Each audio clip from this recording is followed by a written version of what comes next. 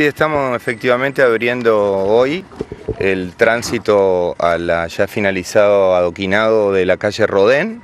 eh, una calle que fue pavimentada gracias al esfuerzo de los vecinos y que por cierto en ese aspecto hay que felicitarlo como en todos los otros en los cuales tenemos iniciativas vecinales a través de la ordenanza 4299, una de las pocas calles que nos quedaban de la zona de Besiú, son 275 metros lineales con una superficie de 1.450 metros de adoquín. Fueron 28 vecinos los que se pusieron de acuerdo para llevar adelante la obra. Eh, y el municipio, como siempre, hicimos la tramitación administrativa, el proyecto, la dirección técnica, la inspección. Pero lo más interesante de recalcar, digo, a esta altura ya de, la gestión del intendente Avilés, es el avance que hemos tenido en esta zona. Cuando nosotros llegamos, debía haber aproximadamente un 20-25% de toda esta zona pavimentada. Nosotros llevamos adelante a través de distintas iniciativas, tanto de, por iniciativa municipal como por eh, iniciativa de los vecinos, tramos de pavimentación eh, muy importantes en la calle Cervantes,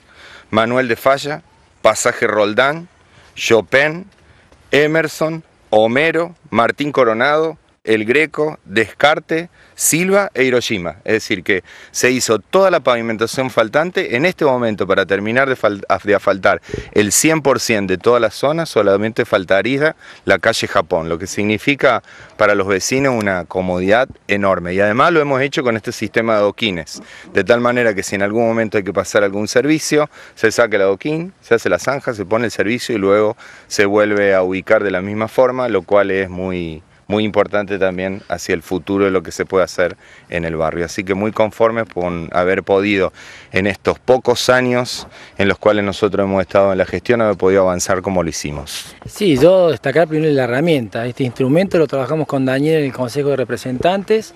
y fue una ordenanza innovadora que fue tomada por casi todos los municipios en la provincia de Córdoba, que da herramienta a los centros vecinales y a los mismos vecinos de agruparse, organizarse y que con un 70% de adhesión eh, se puede formar el proyecto, mandar al Consejo de Representantes para su aprobación y como dijo Horacio, con el trabajo técnico del municipio. Esta herramienta ha sido determinante para avanzar en muchos barrios de la ciudad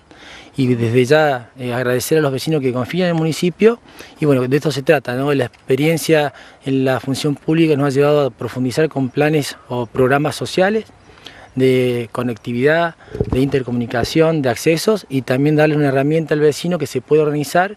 en un gobierno muy participativo, con mucha eh, vocación por parte también de los centros vecinales, en que esta herramienta la han trabajado muchísimo en los últimos tres años, en base también al trabajo de Horacio y a todo lo que hace el armado de obras y servicios públicos, así que destacar que de esta forma claramente eh, Carlos Paz está avanzando en algo tan básico, tan simple, que estaba ausente, no había en más de un 65% de Carlos Paz que no tenía consolidado todo el tránsito vehicular y de esta forma hemos avanzado en poco tiempo muchísimo en casi todos los barrios. ¿Hay proyección de este mismo sistema en otros barrios? Están en todos los barrios, eh, se van implementando. Esto, como decíamos ayer con Daniel, eh, estamos viendo cuáles son los proyectos que estamos llevando adelante como gestión comunitaria que queremos comunicar